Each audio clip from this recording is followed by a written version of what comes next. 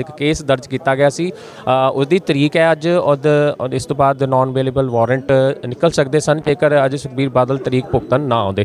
ਥੋੜੀ ਦੇਰ ਜਿਹੜਾ ਹੈ ਇਸ ਵੇਲੇ ਸੁਖਬੀਰ ਬਾਦਲ ਪਹੁੰਚ ਚੁੱਕੇ ਨੇ ਅੰਦਰ ਤਰੀਕ ਭੁਗਤਣ ਗਏ ਨੇ ਤੇ ਉਸ ਤੋਂ ਬਾਅਦ ਆ ਕੇ ਕੀ ਗੱਲ ਕਰਦੇ ਹਨ ਉਹ ਤਾਂ ਉਸ ਤੋਂ ਬਾਅਦ ਹੀ ਪਤਾ ਚੱਲੇਗਾ ਕਿ ਅਦਾਲਤ ਨੇ ਉਸ ਤੋਂ ਬਾਅਦ ਅਗਲੀ ਤਰੀਕ ਕਦੋਂ ਪਾਈ ਹੈ ਜਾਂ ਅੱਗੇ ਕੀ ਫੈਸਲਾ ਚੱਲਦਾ ਹੈ ਤੇ ਕੇਸ ਅੱਗੇ ਕਿਸ ਤਰ੍ਹਾਂ ਚੱਲਦਾ ਹੈ। ਹਾਲਾਂਕਿ ਅੱਜ ਅੰਮ੍ਰਿਤਸਰ ਦੇ ਅਤੇ ਆਲੇ ਦੁਆਲੇ ਦੇ ਇਲਾਕਿਆਂ ਦੇ ਜਿਹੜੇ ਅਕਾਲੀ ਸ਼੍ਰੋਮਣੀ ਅਕਾਲੀ ਦਲ ਬਾਦਲ ਦੇ ਜਿਹੜੇ ਮੈਂਬਰ ਨੇ ਉੱਥੇ ਪਹੁੰਚੇ ਨੇ ਜਿਹੜੇ, ਜਿਹੜੇ ਕਿ ਅ, ਤਲਬੀਰ ਗਿੱਲ ਔਰ ਅਨਿਲ ਜੋਸ਼ੀ ਜਿਹੜੇ ਨੇ ਉਹ ਵੀ ਇੱਥੇ ਪਹੁੰਚੇ ਨੇ। ਉਹਨਾਂ ਸਮੇਤ ਹੋਰ ਕਈ ਜਿਹੜੇ ਨੇ ਆਗੂ ਜਿਹੜੇ ਅਕਾਲੀ ਦਲ ਦੇ ਉਹ ਇੱਥੇ ਪਹੁੰਚੇ ਨੇ। ਉਹਨਾਂ ਨੂੰ ਸਪੋਰਟ ਵਾਸਤੇ ਫਿਲਹਾਲ ਸੁਖਬੀਰ ਬਾਦਲ ਜਿਹੜਾ ਹੈ ਉਹ ਅੰਦਰ ਜਾ ਰਹੇ ਨੇ ਔਰ ਕਿੰਨਾ ਲੈਂਦੇ ਨੇ ਔਰ ਆਪਣਾ ਜੱਜ ਦੀ ਤਰੀਕ ਹੋਏਗੀ। ਉਸ ਤੋਂ ਬਾਅਦ ਜਿਹੜਾ ਹੈ ਅਗਲੀ ਜਿਹੜੀ ਹੈ, ਉਹ ਜਿਹੜੀ ਪ੍ਰੋਸੀਡਿੰਗ ਹੈ, ਉਹ ਅੱਗੇ ਅਦਾਲਤ ਵੱਲੋਂ ਕੀਤੀ ਜਾਵੇਗੀ ਕਿ ਅਗਲੀ ਡੇਟ ਪੈਂਦੀ ਹੈ ਜਾਂ ਕੀ ਜਿਹੜਾ ਹੈ, ਅੱਗੇ ਉਹ ਫੈਸਲਾ ਹੁੰਦਾ ਹੈ। ਫਿਲਹਾਲ ਉਹਨਾਂ ਦਾ ਕਹਿਣਾ ਸੀ ਕਿ ਉਹ ਅਦਾਲਤ ਦੇ ਜਿਹੜੇ ਉਹਦੇ ਹੁਕਮ ਹੈ, ਉਸ ਦੇ ਮੁਤਾਬਕ ਹੀ ਉਸ ਦਾ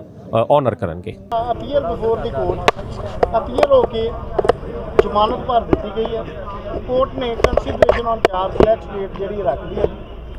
ਜੋ ਕੋਰਟ ਦਾ ਨੈਕਸਟ ਜਿਹੜਾ ਪ੍ਰੋਸੀਜਰ ਹੋਊਗਾ ਜੀ ਉਹਨੂੰ ਫੋਲੋ ਕਰਾਂਗੇ। ਈਚ ਐਂਡ ਐਵਰੀ ਡੇਟ ਤੇ ਸਰਦਾਰ ਸੁਖਬੀਰ ਸਿੰਘ ਬਾਦਲ ਐਂਡ ਵਿਰਸਾ ਸਿੰਘ ਬਲਟੋਆ ਇੱਥੇ ਪੇਸ਼ ਹੋਣਗੇ। ਆਫਟਰ ਐਵੀਡੈਂਸ ਜੋ ਮਾਨਯੋਗ ਕੋਰਟ ਫੈਸਲਾ ਕਰੂਗੀ। ਉਹ ਤੋਂ ਬਾਅਦ ਜੀ ਸਰ ਹੋਰ ਕਿਹੜੇ ਕਿਹੜੇ ਬੰਦੇ ਆ ਜੀ ਨਾਲ? ਹੋਰ ਜੀ ਸਰਦਾਰ ਵਿਰਸਾ ਸਿੰਘ ਬਲਟੋਆ ਜੀ ਅਮਰਪਾਲ ਸਿੰਘ ਬੋਨੀ ਐਂਡ ਹੋਰ ਨੰਬਰ ਆਫ ਪਰਸਨਸ ਹੋਰ ਹੈਗੇ ਆ ਜਿਹੜੇ ਆਲਰੇਡੀ ਔਨ ਬੇਲ ਹੈ ਜੀ ਸਰ। ਸਰ ਕਿੰਨੀ ਤਰੀਕ ਪਈ ਹੈ ਜੀ? ਤਰੀਕ ਨੈਕਸਟ ਮੰਥ ਦੀ ਪਈ ਹੈ ਜੀ ਬਾਅਦ ਚ ਕਨਫਰਮ ਥੋੜੀ ਕਰ ਲੈਣਗੇ ਜੱਜ ਸਾਹਿਬ। ਸਰ ਐਲੀਗੇਸ਼ਨਸ ਤੇ ਕੀ ਕਹੋਗੇ ਜਿਹੜੀ ਐਲੀਗੇਸ਼ਨ ਫਾਲਸਲੀ ਇੰਪਲੀਕੇਸ਼ਨ ਹੈ ਨਾ ਇਹੋ ਜਿਹੀ ਅਕਰੈਂਸ ਹੋਈ ਜੀ। ਫਾਲਸਲੀ ਕਾਂਗਰਸ ਗਵਰਨਮੈਂਟ ਸੀ ਉਹਨਾਂ ਫਾਲਸਲੀ ਇੰਪਲੀਕੇਟ ਕਰਕੇ ਐਫ ਆਈ ਆਰ ਦਰਜ ਕਰ ਦਿੱਤੀ। ਨਾ ਉਹ ਹੁਣ ਜਿਹੜੀ ਗਵਰਨਮੈਂਟ ਆਮ ਆਮ ਆਦਮੀ ਦੀ ਗਵਰਨਮੈਂਟ ਆ ਉਹਨਾਂ ਚਲਾਨ ਪ੍ਰੈਜ਼ੈਂਟ ਕਰਤਾ।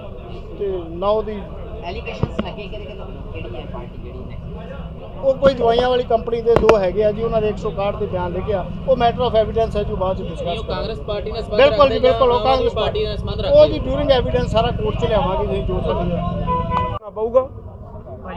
ਬਿਲਕੁਲ ਜੀ this is the state case accused ਦੀ ਹਾਜ਼ਰੀ ਜ਼ਰੂਰੀ ਹੈ ਜੀ ਜਦੋਂ ਨਹੀਂ ਆਉਣਗੇ ਕੋਰਟ ਨੂੰ ਐਪਲੀਕੇਸ਼ਨ ਐਗਜ਼ੈਂਪਸ਼ਨ ਦੀ ਮੂਵ ਕਰਾਂਗੇ ਉਹ ਸਾਡਾ ਰਾਈਟ ਹੈ ਜੀ। ਬਿਲਕੁਲ ਕਰ ਸਕਦੇ ਕੋਰਟ 'ਚ ਪੇਸ਼ ਹੋਣ ਤੇ ਅਪੀਅਰ ਹੋਣ ਤੇ ਨਾਲ ਵਿਰਸਾ ਸਿੰਘ ਵਲਟੋਆ ਵੀ ਨੇ। ਬਿਲਕੁਲ ਜੀ ਉਹ ਵੀ ਹੈਗੇ ਆ ਜੀ।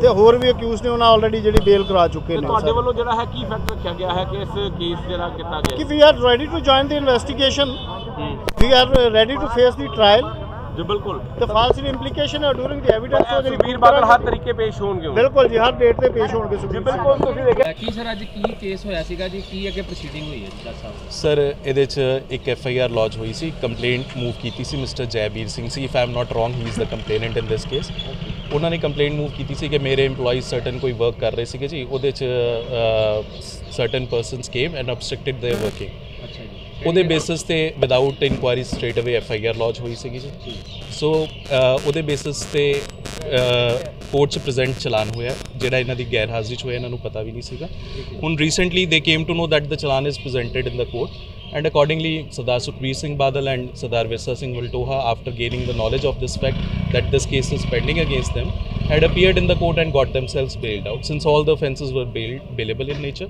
So we had put in appearance and got ourselves bailed out. ठीक है जी। सर ये बेल मिल गई है जी कितने